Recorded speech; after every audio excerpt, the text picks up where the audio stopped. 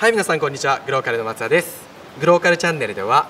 国際協力に関するキャリアの紹介をしていくようなチャンネルになっております。今日はですね JICA 関西に来ております。ここで何をやってるかというとあの協力隊祭りっていうところをやっておりますので出店者の方にぜひインタビューをしていきたいなというふうに考えてます。はいじゃあよろしくお願いします。行きましょ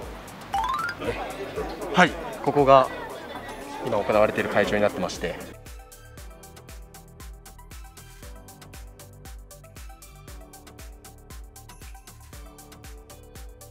じゃあちょっと早速行きましょう。こんにちは。こんにちは。ここをちょっと団体の自己紹介をしていただきたいなと思って。はい、こちらパモジャというブランド名でやらせていただいています。パモジャのスポーツウェアをきっかけにアフリカとつながれるようなブランドを目指して活動しています。あの名前の由来と、はい。なんで設立しようと思ったかっていうところをお聞きしていいですか？名前の由来はスワヒリ語で「 together 一緒に」っていうおー意味があってそうなんですね。そちらのネーミングを取らせていただきました。できっかけは私タンザニアで体育の先生をやっていてあの協力隊として行ってたんですけど、2年行く予定が8ヶ月が経とうとした頃にコロナが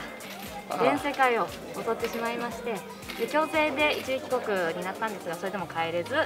でその時にもうこれからどうしていこうかなって思った時に隔離生活中に、あのーどうしようか悩んでたら私のスーツケースにはアフリカ布で作ったドレスばっかりが入ってたんですそれを着てたんです。けど日本は極寒で もうノースリーブとかじゃいられなかったんで。確かに確かに。その上からアディダスのジャケットを羽織ってみたんです。で鏡見た瞬間にえかっこいいって思ってあこれやみたいな。でそっからあこのブランドを作れば私はまだアフリカとつながってられるしまだアフリカとおアフリカを伝えることができるなと思ってあの座を立ち上げましたこういうことやっていきたいとかってあるんですか？さこのちゃん。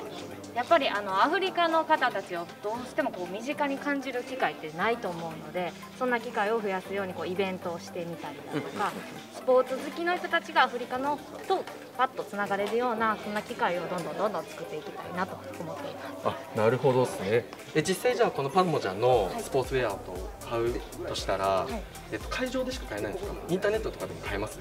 インターネットで買えます。そうなんインターネットでしかまずやってなかったんですけど、あそうなんですね。はい、でもこういう風にたまにイベントとかに呼んでいただいて出店させてもらったりすることはやってます。ありがとうございます。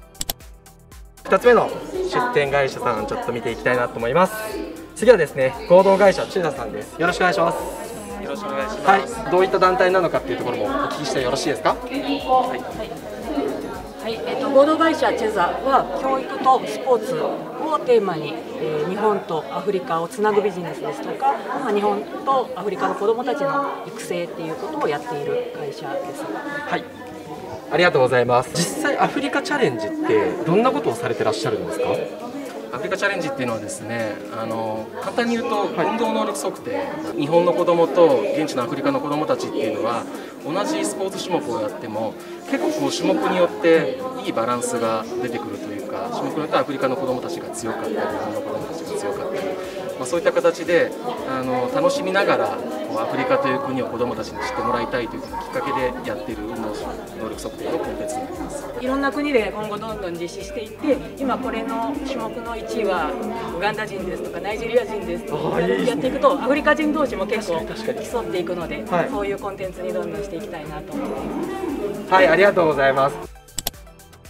次はですね、国連 UNHCR 協会のブースにちょっとお伺いしようかなと思ってます。はい、よろしくお願いします。よろしくお願いします。よろしくお願いしますちょっと簡単に自己紹介いただいてもよろしいですか？はい、えー国連 UNHCR 協会、えーまあ広報啓発活動ですね。あの担当しております吉島正一と申します。国連 UNHCR 協会ではどんなことをされてらっしゃるんですか？あ世界中に、まあ、これに、えー、と2020年12月末現在なんですけども、まあ、8240万人の方々が、まあ、世界中で、まあ、難民ですねあの故郷を追われて、まあ、避難生活を送られてるんですけども、まあ、そういった方々のためにですねあの、まあ、支援金をですね集めさせていただいたりとか、まあ、そういった難民の方々のあの状況をお伝えする広報活動とか、まあ、そういったものを行っております。あのちなみにですねその UNHCR というのは、まあ、国連難民高等弁務官事務所、まあ、はい。国連組織ですけども、はい。まあ、そちらと、まあ、契約を交わして、まあ、日本における、まあ、公式支援窓口ということで、まあ、広報啓発活動に特化した活動をしているまあ団体になります。はい、ありがとうございます。実際あのこちらに今日、はい。あのブースとして出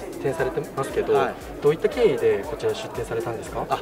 えー、っとですねやはりですね、まあ、今ちょっとウクライナの情勢で、まあ、この難民の方々に対するですね関心という高まってますけども、はい、やはりもともとなんですかね、まあ、日本ではですねあまりその難民の方々に対する関心というのは高くなかったと思うんですね、でもこういったところにですね集まってくださる方々に対して、はい、まあ、より多くの方にですねその難民問題について知っていただいてその難民支援のまああのまあ重要性というのもあのお伝えしていただきあのいきたいなということでまあ出展させていただきました。あの難民って聞くと、はい、日本人の人たちとかだとあんまり身近に感じない人たちも多いですよね。そう、ね。はい、そういったところを広げていって、難民の支援のあの、まあ、難しさもあると思いますし、はい、そこの理解っていうところも広げていくような感じなんですかね。そうですね。はい、ありがとうございます。はい。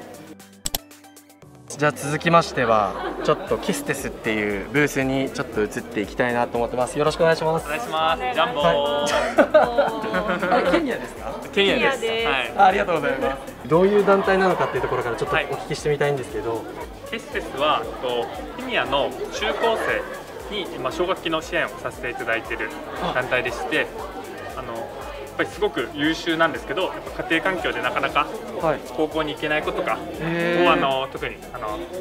力入れて支援させていただいております。あなるほど。じゃあ実際その団体が寄付をしてあ寄付っていうか、まあ、奨学金として渡してそれで実際その方が卒業するまでをちゃんとサポートしていくよっていうような団体なんですかね？そうです。なるほど。そのお金っていうところはどういうところどういった形であの収集されていらっしゃるんですか？基本的に2パターンありまして、はい、1つがサポーター様ですね、はい、企業とあと個人のサポーター様とあとは定期的にこういった形で物販とかさせていただいて、まあ、その収益を学費に充てさせていただいているというと